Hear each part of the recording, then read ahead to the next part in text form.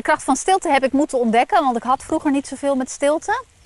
Maar wat ik heb ontdekt in de stilte is dat er een, uh, een muziekstuk klinkt, waarbij ik alleen maar hoef aan te sluiten. En dat is eigenlijk het ritme van Gods liefde, die doorgaat in een eeuwige cadans.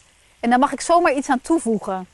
En de kracht van stilte is daarom ook uh, ja, vreugde om er zomaar bij te mogen horen, bij dit muziekstuk wat al bestaat. En dat betekent dat ik niet meer zo heel hard hoef te rennen, alleen maar hoef te ontdekken wat mijn rol is in dit muziekstuk. En in de stilte kun je nou eenmaal beter luisteren.